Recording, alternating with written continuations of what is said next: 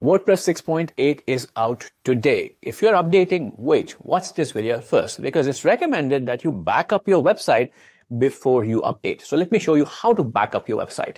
On your website, head into the plugin section, go to add new plugin, and from the plugin repository, go to the search option, type duplicator. This is a backup plugin we be installing and then find this plugin called Duplicator. You can see 1 million installs, great ratings. This is the icon and just click install and install this plugin on the site. I'm doing it right now. Once Duplicator is installed, you'll see a menu entry for Duplicator here. Go to the backup section, which will look something like this.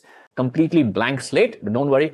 All you have to do is find this create new button on the bottom top right and just go and click on it. And the backup process will begin. It'll automatically give a name to the backup and it will show you all the default things. You can stick with the default options.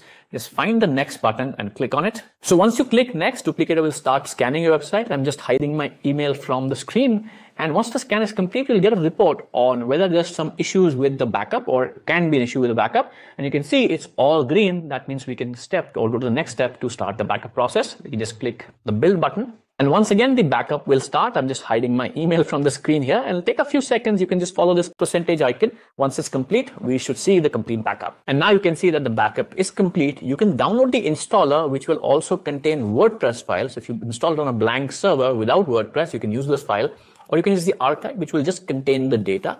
So if you want to back up to a website which already has WordPress, you can use this or you can download both files. If you want to see where the backups are stored, you can always go back to the backups menu here.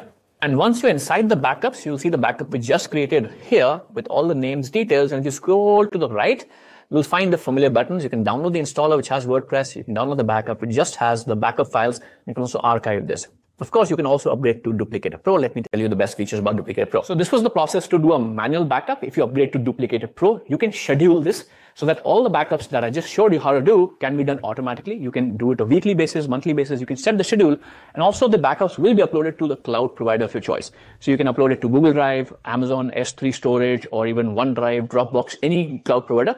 And you can download these backups to your computer as well, just if you want to save or you want to have security and peace of mind that you have the backups. So that's Duplicator Pro for you. And once you've done this, once you've done the backup process, now you can upgrade to WordPress 6.8. If you don't know how, then watch this video right here. Or if you're watching this on Instagram, go to the link in bio. Probably you'll find a link there.